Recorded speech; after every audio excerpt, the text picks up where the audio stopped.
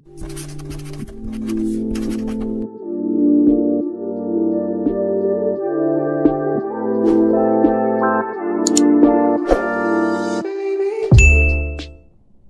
բոլորին։ Այսօր փետրվարի 29-ն է եւ 1 ամբողջ օր մինչեւ ժամը 00:59 րոպե դեռ լուսնային 20-րդ օրն է։ Ինչպես գիտենք արդեն լուսինը կանգնած դիրքում է եւ շատ կարեւոր գործեր հարկավոր չէ սկսել։ Այսօրվա գույնը դա կապույտն է, իսկ քարերը կարմիր հասպիսը եւ ժայռաբյուրեղը։ Օրվա կարգախոսը ակտիվ գործողություններ եւ արագ արդյունքներ։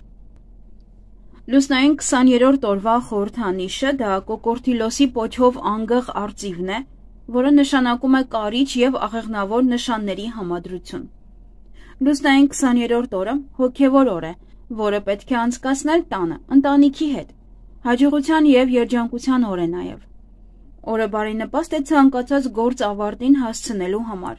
սակայն հարկավոր է զսպել էմոցիաները։ Այսօր շատերը կարող են իրենց թմրած զգալ, կարծես ձեր առօրյա կյանքը չզգաք, ասես օթերի մեջ լինեք։ Լուսնային 20-րդ օրը անհասկանալի կարոտի զգացում ենք ունենում։ Մի կողմ թողեք դեր զայրույթը, հպարտությունը, նախանձը։ Օրը բարենպաստ է կարևոր գործեր անելու, ավարտելու եւ որոշումներ կայացնելու համար բայց փոքր կենցաղային ամենօրյա խնդիրներ լուծելու համար օրն այնքան էլ հաջող չէ։ Ավելի լավ է այս ժամանակը նվիրել ավելի կարևոր ու նշանակալի նպատակներին։ Պետք է կենտրոնանալ միայն ամենակարևոր նպատակի վրա եւ չտարվել մանրուքներով։ Մի արեք այնպիսի բան, որը մեծ էներգիա է պահանջում։ Հրաժարվեք լուրջ ֆիզիկական ծանրաբեռնվածությունից, ծանր սնունդից լուսնային 20-րդ օրերի հիվանդությունները վտանգավոր չեն։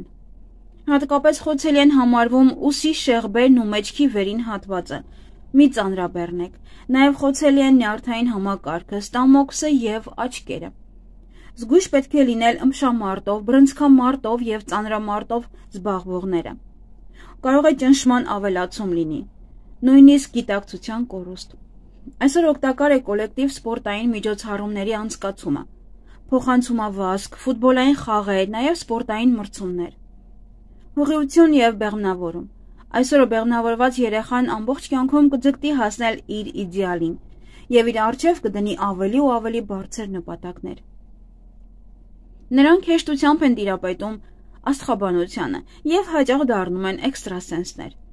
Այսօրվա ծնվածները այն մարդիկ են, ովքեր իրեն զոհաբերում են հանուն աշխատանքի իրենք հպարտ եւ դիմացկուն բնավորությամբ անձնավորություն են, որոնք կարող են առաջնորդել ուրիշներին։ Նրանք կարող են դառնալ աստղ, ճանաչված մարդ։ Հաճախ այսօր ծնվում են իսկական նվիրյալներ, ովքեր ապրում են հանուն գաղափարի եւ պատրաստ են ամեն ինչ զոհել հանուն դրա։ Վատագույն դեպքում այսօրը ծնված մարդուն կարող է հետապնդել անառակ որդի բարթույթը։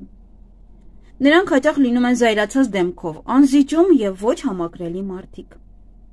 Սանրվածք. Ինքնավստահության որոշակի անկում կարող է ունենալ։ Այս իրավիճակից իդեալական ելքը կլինի սանրվածքի գլոբալ փոփոխությունը։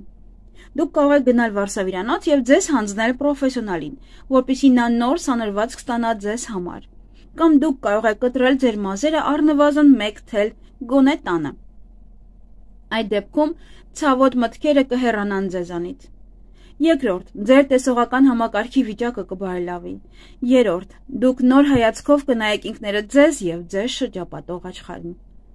Վերջապես կսկսեք ինքներդ ձեզ դուր գալ։ Մազերի ներկում։ Այսօր ձեռնպահ մնացեք։ Մազերը ներկելու կարիք չկա։ Դրանից ոչ մի լավ բան չի լինի։ Անկախ նրանից բնական թե արհեստական ներկերով եք ներկելու այսօրվա անհաջող երանգը կփչացնի ձեր տրամադրությունը, որը չի վերականգնվի նաև հաջորդ շաբաթ։ Բիզնես եւ աշխատանք 20-րդ լուսնային օրվա բոլոր ձեռնարկումները հաջող կլինեն, եթե անկախ լինեք եւ վստահ լինեք ինքներդ ձեզ վրա եւ այն ամենին, ինչ անում եք։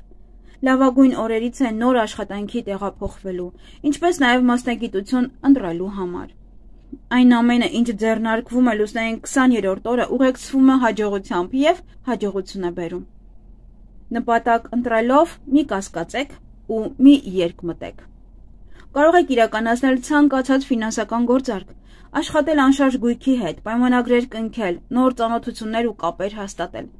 Բայց մի մոռացեք, որ լուսինը կանգնած դիրքում է։ Եթե լուսնային օրվա էներգիան համընկնում է ցուլում լուսնի էներգիայի հետ, ապա դա կօգնի գումար ներգրավել եւ բարգավաճել։ Ցուլը գումարի նշան է բայց հիմա գտնվում է կշերք նշանում, չնայած էլի գումարի նշան է։ Շտապեք բացել բանկային հաշիվ, սկսեք ցանկացած գործ, ամեն ինչ հաջող կլինի, պարզապես գործեք շատ դանդաղ։ Եթե ձեր գործընկերների հետ լինեք հպարտ եւ ինքնահավան, ապա կարող եք փչացնել հարաբերությունները ընկերների եւ գործընկերների հետ։ Կարող եք կորցնել այն ամենը, ինչ կուտակել եք։ Շատ լավ օր է ծառեր եւ բազմամյա բույսեր տնկելու համար լավ օր է տուն կառուցելու համար։ Անձնական կյանք։ Եթե ձեզ միանգամից երկու երիտասարդ ամուսնության առաջարկ են արել եւ դուք ընտրության առաջ եք կանգնած, թե ում հայտ ամուսնանաք, ապա ընտրեք լուսնային 20-րդ օրը։ Այսօրը կխուսափեք սխալներից, քանի որ այսօրը մենք հստակ տեսնում ենք մեր նպատակը եւ հստակ կանխատեսում մեր իսկ ընտրության հետևանքները։ Հիանալի ժամանակ է ռոմանտիկ եւ սիրային հանդիպումների համար։ Այսպիսի օրը մարդիկ իրար շատ հեշտ են հասկանում։ Էզոտերիզմ լավ օր է մեդիտացիայի համար։ Նրանք, ովքեր կարողանում են կարդալ տիեզերքից եկող նշանները, ապա այսօր կկարողանան դա տեսնել։ Երազները ոչինչ չեն նշանակում, միայն կարևոր են այն երազները, որոնք քնելուց առաջ ցանկացել էիք տեսնել։ Դրանք շատ արագ կկատարվեն։ 20-րդ լուսնային օրվա քարը դա հասպիսն է, ռուսերեն յաշմա, Բոլոր յաշմաները պաշտպանիչ քարեր են։ Նրանք տարբեր էներգիաներ մեկ ամբողջության մեջ միավորելու հատկություն ունեն։ Յաշման օգնում է միայն նրանց, ովքեր պատրաստ են աշխատել իրենց վրա։ Ամուսնության համար բարենպաստ է այն զույգերի համար, որոնցում տիրում է բացարձակ վստահություն։ Այգեգործության համար լավ օր է արմատային բանջարեղեն հավաքելու համար, չգիտեմ, ճիշտ եմ ասում թե ոչ։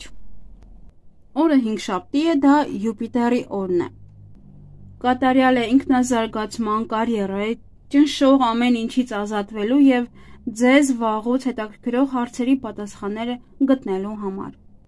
Եթե ունեք վիճելի հարցեր, ապա այսօր կարող են նաև արդարացված լուծումներ լինել։ Եվ բարդ գործերը բոլորը կարող են հաջողությամբ ավարտվել։ Յուպիտերը ով հովանավորում է հինգշաբթի օրը, ձեր յուրաքանչյուր որոշումն իրադարձությունը կլցնի խորը իմաստով։ Կտա վստահություն եւ հավանություն կտա ձեր բոլոր առատաձեռնությանը եւ բարիությանը։ Հինգշաբթի օրը հիանալի օր է ձեզ համար նոր նպատակներ դնելու համար, թե կարիերայում, թե անձնական կյանքում։ Եթե ունեցել եք ծանրաբեռնված պարտավորություններ կամ կապեր, ձեր վիճակը կարող է ամբողջովին փոխվել։ Օրվա բացասական կողմը դա երբեմն Յուպիտերի էներգիան ստիպում է մարդուն չափից ավելի ինքնավստահ լինել։ Նա սկսում է հավատալ, որ ինքը միշտ ճիշտ է, նույնիսկ եթե իրականում նա պետք է հետ քաշվի եւ լսի ուրիշներին։ Այսքանը սիրելիներս, ձեզ հաճելի օր եմ մաղթում։